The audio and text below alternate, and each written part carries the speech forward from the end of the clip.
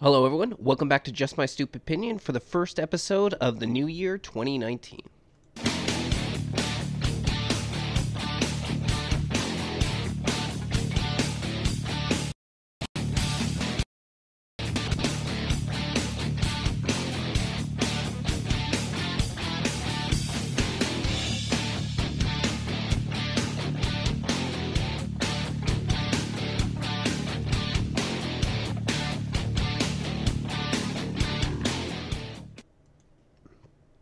So, first things first, I would like to say hello to all my new subscribers because uh, over the last few days, I've had growth that I haven't seen since uh, probably about this time last year.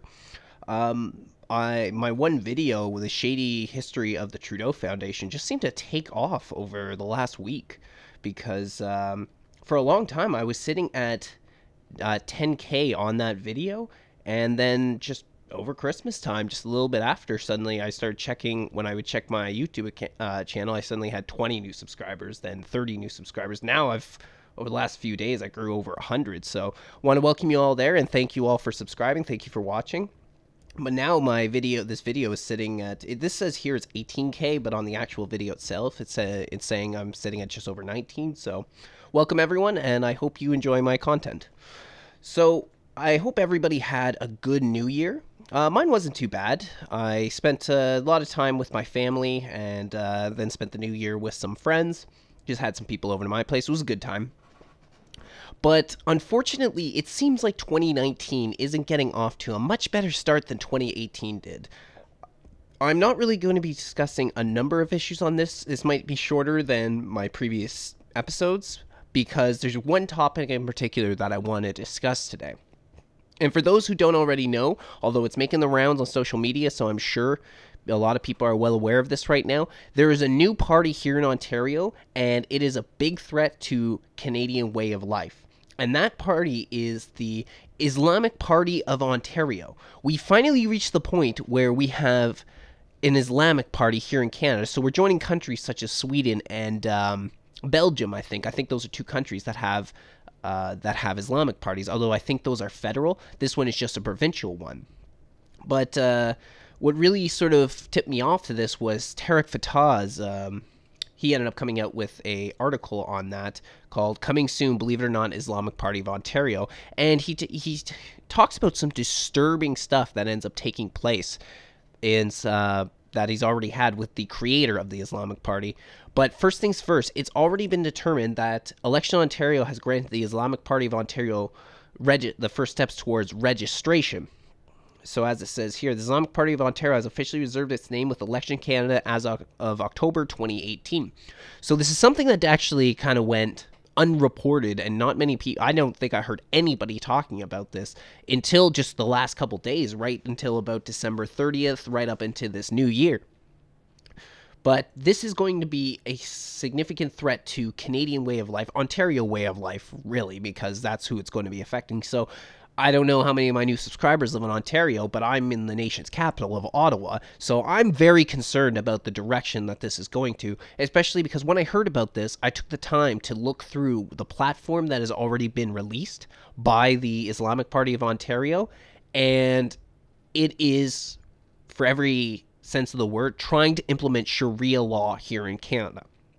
I remember a while ago I was having a conversation with my mother about uh, about Islam and that. And I remember she looked me dead in the eye and said, "Sharia law will never come to Canada," unknowing to her apparently that Sharia law is already acceptable in the civil court system for things such as divorce. But now they're trying to take it to an uh, they're trying to take it to a provincial level. And if we're reaching this point where Ontario one of our most populated provinces in Canada has an Islamic party, you can guarantee that that is coming to other provinces. My guess is Quebec is going to be next. The west of Canada is probably going to be the least affected by it for a while. But we're going to take a quick look through some of the things that they have inside of their inside their platform. Because, like I said, I stated, it's very concerning, and even what Tarek Fatah put out uh, concerning the um, the creator of it, the founder of the Islamic Party of Canada, is itself concerning. Because uh, this ended up only coming out yesterday, January 1st. But uh, as he sort of just uh, opens up talking about the Islamic Party of Canada, he talks about how in beginning of 2018 he received death threats and things like that, and how 2019 for him wasn't much different. He says, yet towards end of 2018, a much more subtler uh, death threat was addressed to me. This time by the head of Canada's newest aspiring political party, the Islamic Party of Ontario. So this is coming from the head of the party, and he's already getting a form of death threat. He says, in a column posted at the end of October targeting American activist Laura Loomer, Anwar described me as, quote, Islamophobe uh, Tarek Fatah in Toronto Sun. Tarek uh, is an open enemy of Islam and a hate purveyor, end quote. And what he's making reference to, uh, I, okay, I did switch the screen so you all can see. What he's making reference to is this an article that was put up by AzSarah.com. Now, they're making, it was written a little while ago, and it was making reference to how uh, Faith Goldy and Laura Loomer ended up, uh, when they were in Toronto, were were protesting an Islamic group uh, protesting against ICNA Canadian Muslim Convention in Mississauga. So that was uh, in Thanksgiving. So I remember that. In fact, I've never liked Laura Loomer. I always thought she was full of crap, and I don't trust her any farther than I could throw her. But he is very true. He wasn't lying. Tarek Fatah was not lying when he said this because we can see here. He said, Did she succeed? Again, talking about that protest. The answer is no. However, she did at least one good job providing a topic badly needed in a written, uh, write a column to another Islamophobe, Tarek Fatah in Toronto Sun. And that's where he goes on to say Tariq is an open enemy of Islam and a hate purveyor. He loves and waits for these topics.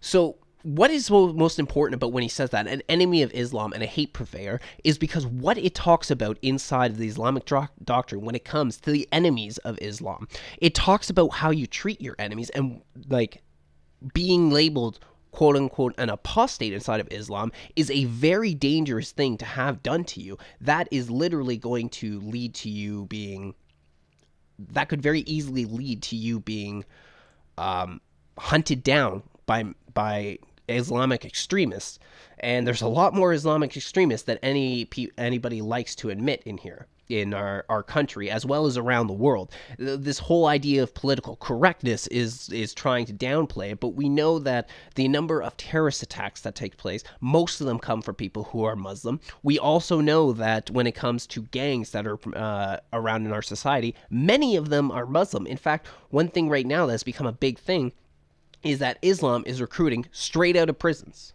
They got like a lot of people, like especially in Europe right now, but I also think in North America that when it comes to people who go into prisons, the prison system, they end up converting to Islam more than any other religion.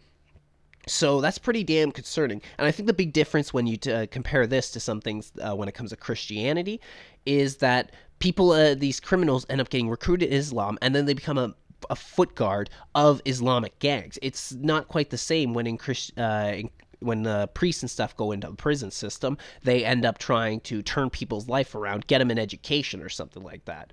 So I think this is the main difference between the two. And uh, Tarek Fatah ended up putting out stuff on Twitter about this, about how he he feels like he's been labeled an apostate. Actually, he shouldn't say he even feels like he's been labeled an apostate. He has been labeled an apostate by them and that can carry a death sentence with many of these extremists. So we have a new threat here in Ontario that has to be fought back against. Now, let's take a look through about some of the things that they talk about inside of the the platform because that's going to be very important to what they want to implement and very eye-opening to those who don't already know and haven't checked it out already. So, here it is right here, which you can find it on islamicontario.ca if anybody's interested and wants to go look for it yourself. So I highlighted the most important parts of the of everything that's in here. So the first things first is we have here where it says the word Islam means surrender and peace. That means Islam requires surrender to God to attain peace. Islamic Party is synonymous of the peace party. this is just going back to the idea of the uh, of the religion of peace, which we all know could not be farther from the truth. But they're trying to do the same thing in here, and they're trying to act. They'll see it too that they try and act as if they are they are going to uphold the Canadian charters and your freedoms and your rights when they're not going to do anything of the sort. In fact, they make reference in here to smaller government and less control. But then if you look at what they want to limit you to, what they want you to control, then they are nothing of the sort. They are actually a big government, and despite the fact they say we're neither capitalist nor communist, you can definitely tell that they are socialist government because they take more shots at capitalism, and they also take more. Uh, uh, they make by the things they want to implement is much more social benefits. So we're going to see this as we get into it a little bit more. Uh, we're going to skip the second part because it's all it really goes on to is talk about how the oldest deen of God and how that uh, plays into pretty much it's more about their beliefs than it is about what they're going to implement. But they say here, Quran is the latest and final edition of divine books that provide gui- uh, complete guidance to all mankind in all walks of life that include politics and governance under the belief of supremacy of God.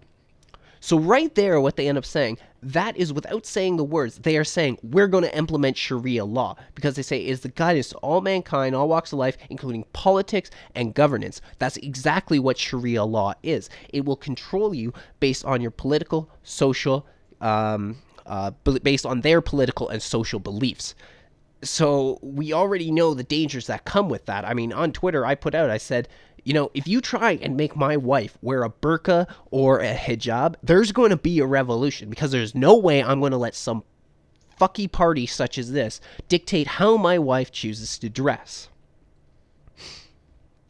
And the thing is, too, is the way that they're describing it, it's very clear that they're trying to make a Muslim supremacy party here. It's not going to be it's not going to be equitable to Christians. It's not going to be equitable to atheists. It's not going to be equitable to Hindus or any other groups out there in religions. In fact, if this is also what's kind of funny is like in the past is a lot of these feminist groups and also the LGBT community have stood with Islam in the past and talk about how all these poor uh, poor Muslims and how they're so oppressed and everything. Well, now they're going to create a party which is actually going to suppress the rights of both women and the LGBT community. So, good going, guys. You really did this to yourself. This is the point we're at because of groups such as these.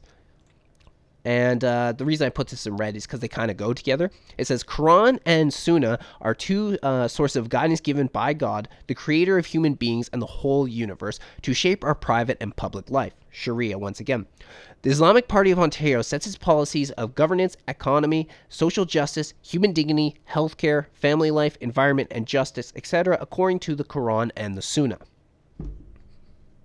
So they've told you exactly there the thing uh, that how they're going to implement themselves. They can't come out and actually say that they are uh, that they're going to implement Sharia law because in the West, Sharia law does not have a good connotation because people know about certain things, such as how a woman has to have something like it's. I think it kind of varies from country to country, but it usually needs at least a minimum of two witnesses if they've been uh, sexually assaulted, all the way up to four and uh, in order to prove themselves because a woman's testimony is worth is worth at least half of that of a man's so so this is exactly what they're just saying in this they go on to explain that this is exactly what they're trying to do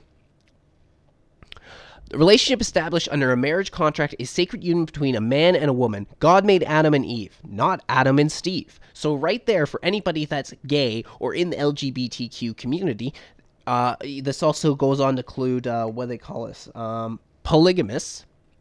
Right there, they're showing how they're going to control who you can marry, and it has to be you have to be married to someone of the opposite sex. And they use the worst joke ever, God made Adam and Eve, not Adam and Steve, in order to dictate this, in order to to tell you how you do this. But uh, this is exactly what they're saying by this: that people in those communities are going not are going to be unable to marry a man. Uh, they can't marry marry another man, or they can't marry another woman. Uh, already, polygamy in Canada, is, if I'm remembering correctly, is still considered illegal as long as you're getting married. Although the funny thing is, this doesn't seem to affect those who are in the Muslim faith because because uh, there's so many groups of uh, so many Muslim people who come over with their wives and then they end up importing their second, third, and fourth wife. In fact, just at the grocery store a couple months ago, I was I was buying groceries with my wife, and we had no doubt that we wa- we saw a Muslim man that had three wives with him because he he was him and three women. These women could not have been his daughters. He wasn't that old, and these women were weren't like really young there was one who looked about to be about his age, and the other two were little, looked a little bit younger than him. But you could just tell by watching this, you're like, this dude it has three Y's with him there. But th- that's always, but that doesn't seem to be disallowed when it comes to Canadian law. They tend to get that pass over there. But yes, we're such an Islamic phobic society. We let them circumvent the laws. And we go on here. It says the right uh, of all to have food, clothing, and shelter with dignity to all. The right to own these things. Now, that right there is a socialist point of view. Now, I'm not saying I'm I'm a consider myself to be a compassionate guy. I don't want people to go hungry. I don't want people to go cold, especially in the country we live in. It's uh, like it's just an awful way to live. But that doesn't mean that people have a right that they can just come in and demand food and clothing and shelter from other people. But this is exactly what they're trying to implement here in Canada in uh, in Ontario. Sorry, they're trying to implement this, which may, to me sounds a very a lot more similar to someone like the New Democratic Party that we have right now under the leadership of Andrea Horwath than it does an Islamic Party. Because this is what I notice. Despite the fact many people in Islam are they're con- ultra conservative in their social views they're actually very socialist in their political and economic views. So they're very traditionalist. They want a man and a woman, and the way that they bring they bring their their children up and the way that other people have to live their lives. But then they want all these free handouts, all the free money. In fact, in Germany, because of the welfare system and the amount of Muslims that came over and were abusing the welfare system, they're saying that Germans, native Germans, are going to have to work a lot longer in their lives to, in order to reach retirement just because of the social debt and the fact that they're predicting that as time goes on, I think it was, I think it was by the year 2030, they're predicting that the that the social benefit, so like social welfare system that so many of these Muslims are taking is actually going to be something like 3% of Germany's economy. That's ridiculous. That's going to put them in astronomical amount of debt. The thing is too is many of these people who come over are unskilled. So they're not going to go out and get a job. They're trying to take advantage of the welfare state that's in Germany, and someone like Angela Merkel is allowing them to do it, like the globalist that she is. We move on. Interest free capital and work partnership economy, neither capitalism nor communism. Well, this is what I was making reference to. They say neither capitalism nor communism. Well, they definitely have a socialist way of thinking, and despite the fact they try and play it down the middle, oh, we're neither capitalist nor communist, you're going to see that throughout this, they make con- uh, constant accusations against capitalism itself. Capitalism, which is the system, uh, the economic system that has actually made the West a a rich place to live in with a high standard of living that gives people a lot of choices in whatever uh, they want to do who, who they buy their insurance from, where they buy their groceries, things such as this. Despite this, they're going to take countless shots against it. Now, this one, I nearly laughed when I came across it. Freedom of the individual, including freedom of speech, religious practices, worship, and assembly. Ah. You cannot have freedom of speech while you have people that are advocating for things such as Islamophobia. And this is exactly where people like Omar Alghabra and um, um, Iqra Khalid, how they've come together and shown the problems that uh, that that what they've been pushing for has led to this moment right here. I mean, uh, let's also look back. Is what they what did they say about um, Tarek Fatah? He is an Islamophobe and an enemy of Islam and a hate purveyor because he's critical to Islam itself. So, do you believe that this party comes in, they're going to believe in freedom of speech? They're using the exact same way groups like the Liberal Party does and the NDP. And my perfect example right now is the Ontario NDP because they never speak about freedom of speech. The only time they ever try and bring this up is when it comes to trying to defend themselves. A good example is that leading up to the election in uh, June of this past year in Ontario, there was one of the NDP MPs that was dug up back in 2013. She retweeted a quote that was by Hitler with a picture of Hitler. And the quote was, and I might be paraphrasing a little bit, where it says, uh, If you want to change the rules, reach the top of the current system and then change them from the top and it had a picture of Hitler on there. And then they're trying to downplay this by, oh, it's freedom of speech, freedom of speech, freedom of speech. But then at the same time, they go out of their way to call everyone else racist, sexist, Islamophobic, transphobic, and try and implement laws that would prevent you from speaking about these topics. So this is exactly what they're trying to do. They're talking about religious practices. This is a Muslim supremacy group, and we've seen how all across the Middle Eastern world, how they forced out all the other religions. The Bible is banned in 50 countries around the world. Where are those countries where the Bible is banned?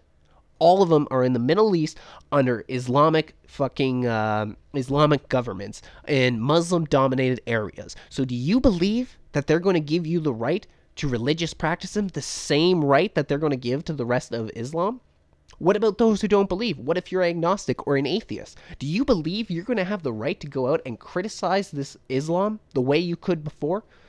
Although, as I've stated before, because uh, those who are new to this uh, this podcast, I've mentioned many times in my in my on this that I'm an atheist, but I have big problems with the atheistic community because it's been overrun with political correctness, and then many of them will have no problem shit talking Christianity, but oh dare oh don't you dare touch the the poor downtrodden Muslims and their religion. How dare you say be critical of them? So many of them are like that, especially if they happen to be white atheists. I've seen so many um, ex-Muslims who have no problem criticizing Islam, even though they're atheists. But that's one of my beefs and I have with that community. But do you believe they're going to give you the freedom of religious practice and worship and assembly?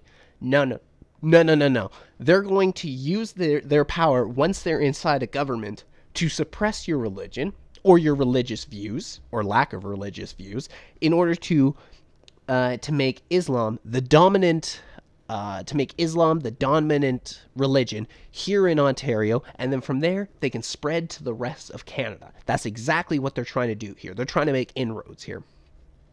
So let's look a little more into their policies. Social. Family system has been has to be restored to protect the generation of of sustained human beings on Earth until natu- uh, its natural ends. Marriage is a sacred union between a man and a woman. Well, there you go, LGBTQ community. That's just saying that you don't get the right to marry who you want. But this goes even farther than that. This is, I believe, that the way that the wording is they're going about it is they're going to try and put an end to divorces in general, or for the most part, put an end to divorces in general. Go back to the old system where a woman couldn't leave her husband regardless of how abusive he is. This is uh, this is what I believe, and it goes more into what they talk about over the next couple paragraphs. The Canadian uh, family system and marriage institutions must be restored for the survival of the coming generations.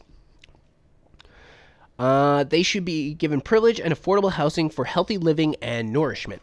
So, this last part right here about the given privilege and affordable housing for healthy living and nourishment, what I think about when I read that, what I thought about, I should say, when I read that, was I was thinking about the child benefit plan that was introduced because, well, and affordable housing as well. But the main thing that came to my mind is the child benefit plan because when they introduced the changes made to the child benefit plan, people like Trudeau came out and say, "Oh, you know, we're giving more money to every families around the world, but uh, around Canada, sorry." But what this ended up doing was it was clearly giving more money to new uh, new Canadians and new immigrants that came to this country because they um, these are the people who are coming in with the most children. Most Canadian families, native born Canadians, they're not having that many kids. Two, maybe three at most. Like three kids these days is kind of perceived as a large family. So when you have all these groups of people that come into your country and end up um, that come into your country and end up that end up having four, five, six, seven kid diff- uh, kids in total, they're going to benefit the most from that. And this is exactly what I think they're about doing, but on an Ontario scale, which is going to benefit one group while taking away from the rest of the people who pay their tax money into it. And then it comes to affordable housing and things like that. They're going to they're going to force the people, especially when we're talking about contractors and people who work in this industry, in, order to uh, make create affordable housing, which means they're going to lose money on it. Things such as this. And then here in much more, this is just go actually. Sorry, I realized we kind of touched on this earlier, but they said relationships established under marriage contracts is a sacred union between a man and a woman. God made Adam and Eve, not Adam and Steve. We already touched on that. Okay, obscenity, vulgarity, nudity, and perversion must be checked. Well, I would say, aside for nudity, this is a very broad spectrum that they're talking about. What is considered obscenity? What is considered vulgarity? What is considered perversion? Because this could be a wide range of shit. I mean, for them, and this even goes on to what it says right below that, where it says liquor, drugs, adultery, gambling, etc., should be banned in society. So, I'm drinking a beer right now. That should not be allowed. Drugs should not be allowed. Adultery, so they're going they're going to have like what people monitoring you make sure you don't do this sort of thing like something like that is between a married couple it is not the place of the government to come into your marriage and dictate the way you go about it uh, should be banned from society gambling as well so a lot of the vices that we already enjoy are going to be banned according to this islamic party of ontario this is revolting if you ask me and this is exactly what I'm talking about. Is they're going to make reference down here about how they're talking about they're about a small government, just really small government. That's what uh, government should be for. But then they're going to check about what you can do, what you can consume. They're go they want to go back to um, prohibition. Well, we already know that from prohibition, it didn't fucking work. When they talk about banning drugs from society, they want to reopen the war on drugs, which was atrocious uh, it didn't work. And then one of the problems with the war on drugs is because you take down a big drug dealer and suddenly it creates a power vacuum for other people to get into. So the war on drugs was not successful and it caused more damage than good. Uh, ironically enough, there's also an Islamic drug pipeline in Canada where a number of the it's just that it's that a number of these drugs come from Islamic countries. They are sold on our streets by Muslims, but then this Islamic uh, Islamic party is going to say, "Oh no, we can't have any of that." Well, many of these people are probably exactly why, uh, exactly why we're in the situation that we're in today, anyway. So uh, this is just it's very vague and I don't like the direction that they're going into. In fact, they even make reference later on here about smoking should be banned as well. So you can't you can't have a cigarette, you probably can't have this. Do you see how the beginning to see how this is a threat to to your way of life, a threat to your freedoms? Society is always better when you give the people the freedom to make choices, the freedom to do what they want, as long as it's within the constraints of the law. But this is not what's going to end up happening. Like when you want to ban something, it's not going to stop people from doing it. If you ban liquor, if you ban drugs, people are still going to do it. They're just going to do it on the black market. So you're just creating more black market, which means there's going to be more gangs out there that are fighting for control of that, such as alcohol. But let's move on. Education.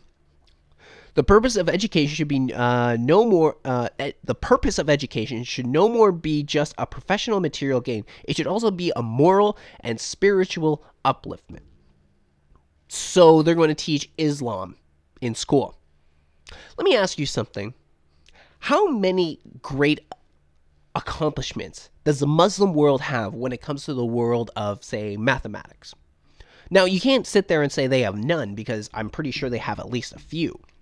But all in all, it was Western education and Western philosophy, Western mathematics that really created the world the way it is, to, to, to create our understanding of the world for the way that it is. But now they want to implement their own doctrine into this. That's just going to be absolute failure. And we already see how, when it comes to school, the Muslims are already trying to push for benefits that are not uh, given to them already. So, one example, excuse me, one example of this has to do with I think it was back in uh, 2013, I think around that time of year, that the Toronto District School Board was noticing that that Islamic students were leaving on, I want to say it was Fridays, but they would leave school because they would go to the mosque and pray at lunchtime or something like that, and then they would be on for hours or they wouldn't come back at all. So in their public schools, they said, "Oh, you know what? We're going to turn, say, the cafeteria into the uh, into an area where the Muslim students can pray." So they were showing one of the big no-nos when it comes to public school is showing preferential treatment for one religion over the other. And the other thing that was really bad about it was that that led to segregation because then you were having uh, the women, the little girls who were on their periods, couldn't pray and were forced to sit off to the side because they were considered unpure. They were considered dirty because of it. So all they're trying to do is make more inroads here, and this time they're going to try and put the Islamic doctrine into our schools. But this, uh, considering, I think I actually said it back at the beginning, where they pretty much said they consider Islam to be the rightful religion of the Western world. Something along those lines about. But anyway, let's take a quick look up here. Uh, I'm pretty sure that we can find it. Uh, I know, I know it said something about this. I, cause I couldn't believe it. I actually think. Uh, Okay, here we go. So they're talking about deen, uh, and uh, just they say the deen is system of life that they're talking about, and right down here they say we understand and believe that Islam is the native deen of Ontario and Canada. Not the fact that it was a real uh, that it was a country that was founded by the Christian world, and we could have the discussion about whether the West is as free as it has been because of uh, of uh, Judeo-Christian values, or whether it happens to be because those values are put in through the Enlightenment period. We can have that discussion later. But the point is, Islam is not the deen when it comes to Ontario or Canada. So, Let's look at what else they say. The experience and uh, and surveys show that boy-only and girl-only schools produce much better results. We will support the gradual transition from co-education to gender-specific schools. Segregation. They are trying to bring the third world to Can- uh, to Ontario specifically right now. We'll get in. It definitely will spread to the rest of Canada if we allow it to happen. But this is exactly what they're doing. They want segregation amongst the amongst the genders. Now, don't get me wrong, when it comes to something like school right now, it is more uh, it is more created the way that we learn right now that is beneficial to girls over boys because uh, boys tend to learn more with hands-on doing things working with their hands than they do in sitting in a classroom and getting lectured at by a teacher. So women do benefit in that way but you're going to go to the extent of banning uh, of sorry, you're going to go to the extent of segregating them and create only boys and only girls school. Well, we know when that happens, things such as uh, usually people to become much more promiscuous because we can see how the things and when you try and segregate the genders and you try and teach them to be very proper, that's not what ends up happening. We all know the stories about uh, Catholic schoolgirls. Moving on. Government funding to all faith based schools with the freedom of conscience and religion guaranteed by the Canadian Charter of Rights and Freedoms must be granted. They don't get this now. I mean, I'm pretty sure when they say that and they talk about faith based schools, I don't believe they get that the Catholic School Board gets funding from the government. Now, if if I'm wrong on that, someone correct me in the comments section, but I'm pretty sure that they don't get that. It's the public schools that get public funds. Anyway, I'm not going to sit too long on that because uh, because I'm pretty sure uh, I'm pretty sure I'm right, but I might not be. Economy, a just economic system, neither capitalism nor communism. What is a just economic system? An economic system is supposed to be for the betterment of a, of a society, of the country. It has nothing to do with what is just or what is fair. Because life ain't fair.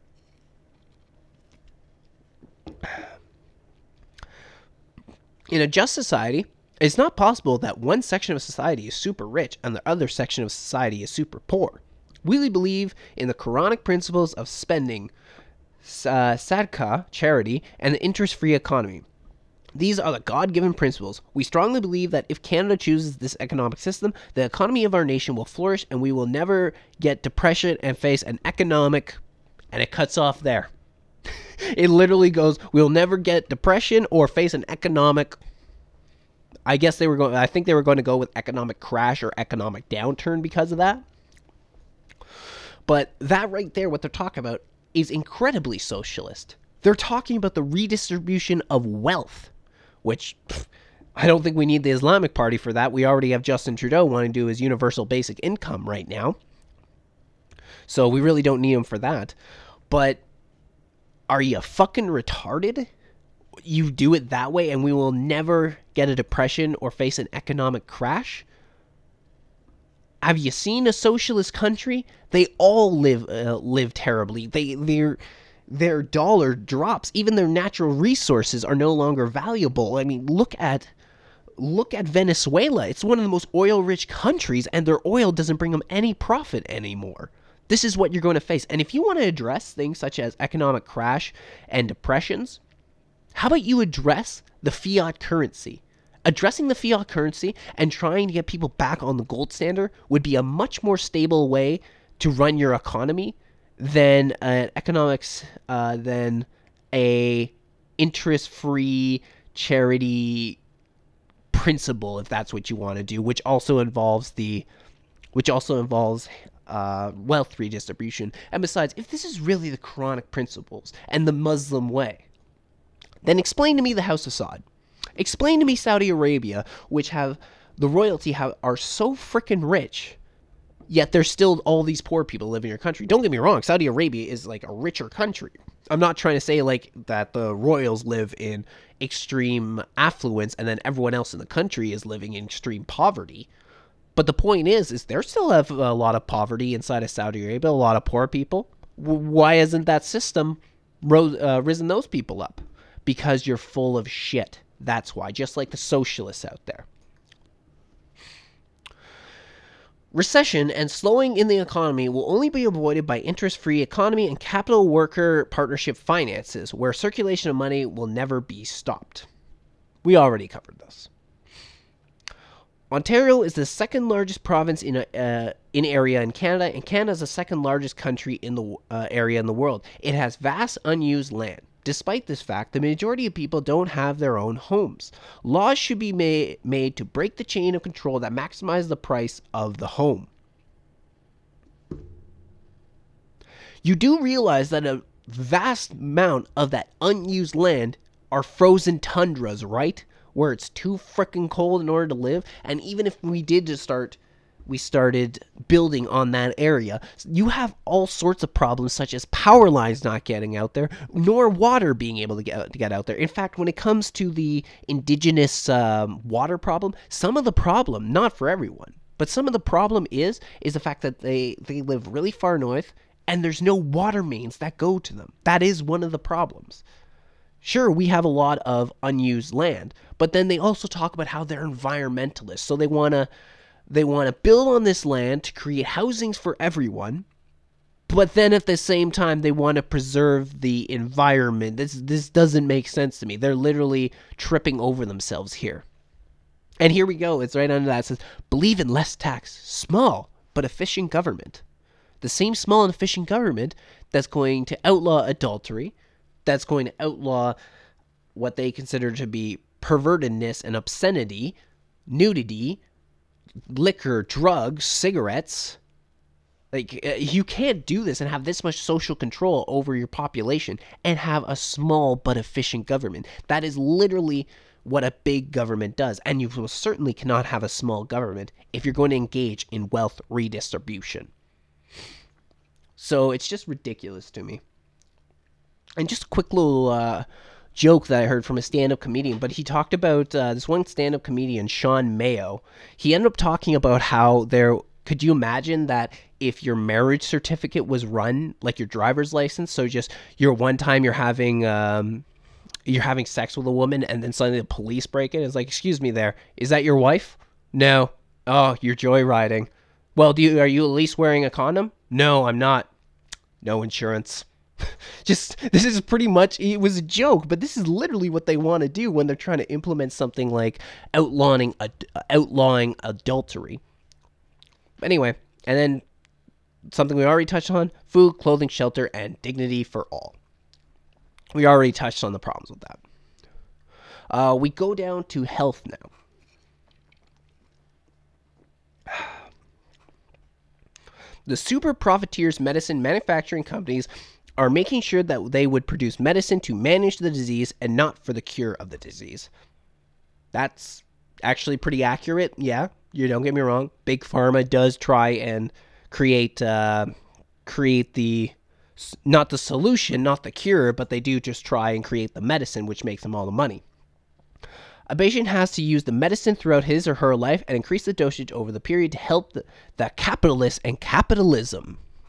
Going on again about how they claim to be neither capitalist nor communism, yet like to take plenty of shots at capitalism. There is no cure of any disease in the so called modern era. The situation must be changed. Well, I believe it might be take, making a comeback, but polio for a long while was completely eradicated. Um, but they they're not wrong when they say this. But if this is if they're going to implement this, why the hell hasn't been this been done in the Islamic world? Where have they been coming with their great breakthrough when it comes to medicine and cure research? They haven't, so don't expect anything different. We support investment in research and development for alternative medicines that may be more effective and less expensive. Example naturopathy, herbal, homeopathy, and others give at least same chance to other ways of treatment to prove beneficial.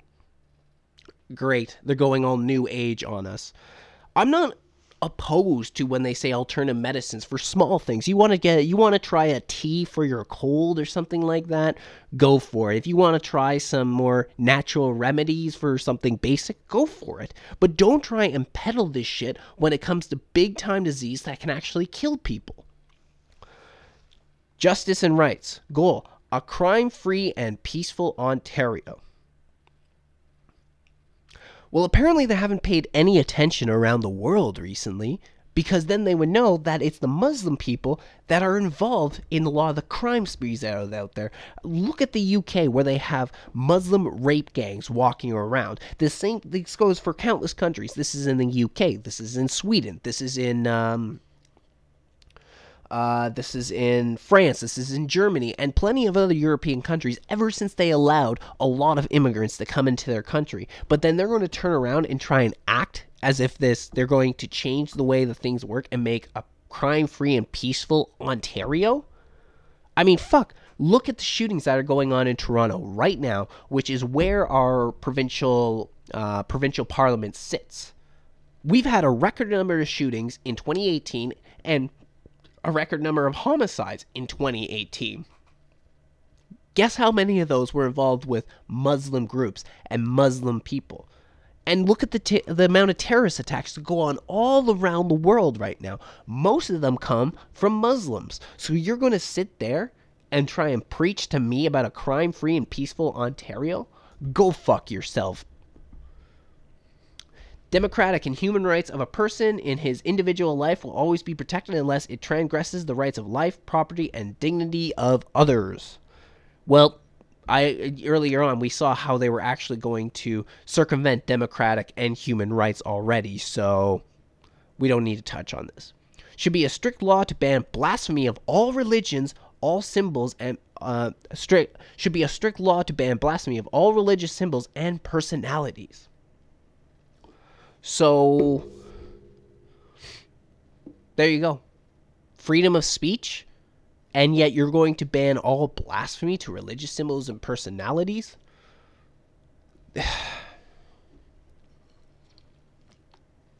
I'm getting a headache just just thinking about it.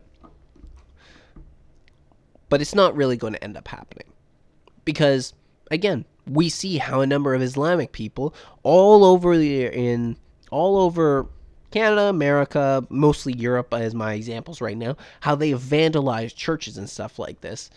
And you believe want me to believe the Islamic Party is going to stop the Muslims from vandalizing a church, let's say, or prosecute somebody a Muslim man who vandalizes a church?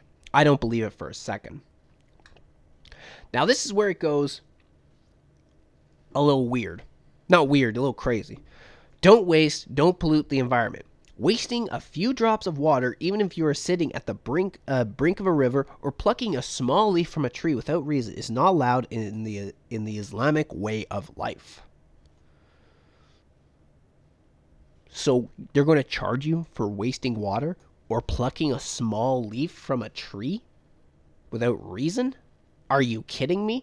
And besides, the biggest mistake that they're making is they're acting as if they're they're freaking acting as if uh, this is a Muslim dominated society. It's not. Most of these people are not Islamic, but in their point of view, that's the way the world should be run. And now this one nearly killed me. The rights of animals are to be maintained. Now they make reference here to um, what do you call it? Uh, well, uh, what, what where does it say? Mass slaughtering ha- houses. So, yeah, don't get me wrong. I'm not a big fan of those either. But they're saying, oh, they're saying, oh, you know what? We're not going to allow this. They have the right to be slaughtered in the halal fashion because it causes less trauma to an animal than the massive horror of cruel mass slaughtering houses. Welcome to the halal fashion. That's a river of blood in Bangladesh capital after Eid Mubarak. Welcome to the halal method. Here is like a stadium or a mall or something where the blood is just splattered across the ground in the middle of public view. Welcome to the halal way of life. And the thing is, too, is in the past, and the problem with halal is actually going on in France right now is the fact that halal uh, the halal industry has become dominant in their country. So for somebody that say wants to go get themselves some chicken, like a, Fr- uh, a French uh, native, they've got to go mostly to a Muslim uh, a Muslim butcher shop where they deal with halal foods and they give their money there. This is also where the Muslims buy because it's halal. Now the problem with that is is that Muslims have a tendency to put the money back into their own community. So they'll end up so they'll give their money to the butcher, who then in turn will use that money to benefit the Muslim community, but it doesn't go out to the rest of the population. So the money stays in the Muslim community, and those, those natives have to come in and put the money into the Muslim community. Do you see the problem here? They get all the money and give nothing back to society that they came into. So this is the uh, this is the halal way. This is the Muslim way. And then finally, choose a path to achieve 100% renewable energy in Ontario. I don't think these people have I don't think they're really aware of how unprofitable the renewable energy industry is right now because most of the time when we're talking about that you have nuclear energy that, that's fine but most people don't like nuclear energy i shouldn't say most a lot of people don't like nuclear energy because nuclear energy is um, nuclear energy is people see th- hear things like Chernobyl and then they get really nervous about having a nuclear reactor in their city. So not a lot of people like that. But whenever I hear renewable energy, I always think of wind farms and solar panels. Now that's fine if you want to have your own wind uh, your own wind turbines on your property or have your own solar panels. Um, in fact, I'm actually someday I'm probably going to invest in solar panels for myself for my own house. But you can't do this on a huge scale. Like you can't do this all throughout all of Ontario because it's not profitable. It takes something like 10 years in order to pay off a, a to pay off a solar panel or something like that now. You really don't make them a lot of money. So if you're just going to put all your time and effort into achieving 100% renewable energy, most of that through solar panels or wind farms, you're going to go into a huge debt because of it. So this isn't going to work. And at the same time, where do you think so much of the Canadian uh, economy comes from? It comes from the Alberta oil sands.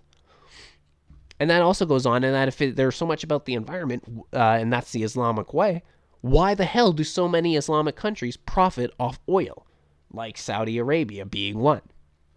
That's where they make all their money on, but that doesn't seem to matter to them. They are a social, they're double whammy. They're a socialist party and an Islamic party that could not be more dangerous. It will damage your economy, it will damage our rights and freedoms and our way of life. And this is just the next step because there was a, for those who, who may know, the Quiggin report.